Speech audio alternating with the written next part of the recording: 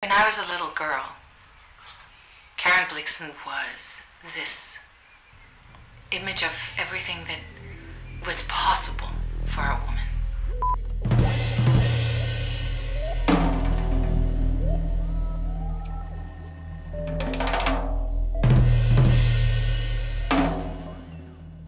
She was able to travel all over the world. She was a writer and an icon at the same time. Even though you felt like you could read her thoughts, she remained utterly mysterious.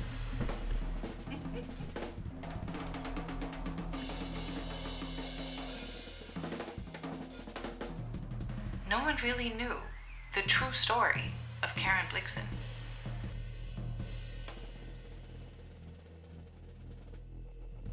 When I started to make this series, I was driven to make it because I sensed um, that there was a part of her story that had not been told.